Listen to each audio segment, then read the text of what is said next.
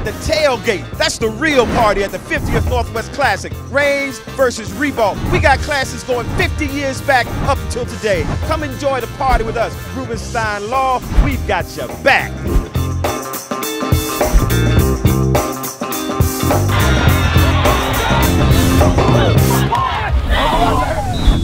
The history of the Classic goes back 50 years, where the two neighborhood schools, Jean Ribault High School and William M. Raines, were rivals just down the street from one another. We're doing the biggest tailgate in Florida, man. It's Raines and Ribault.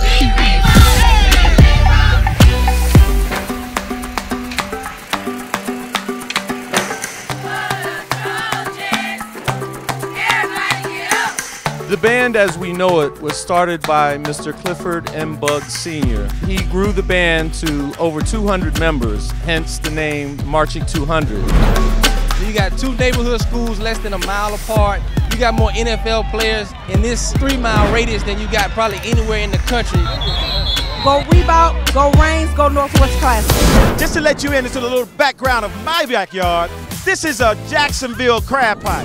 This is the biggest crab pot in the world. It's all about family and tradition. So right now I have the class of 1996 from Ichiban Central, Raines Vikings.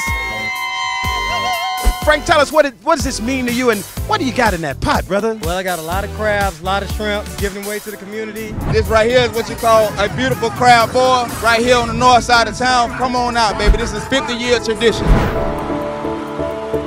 It means legacy, it means bragging rights, it means family, and it means giving back, being servant leaders in our community and giving back to our schools that we love dearly. There you have it. You got one from the leader and the 1999 class. We've got your back.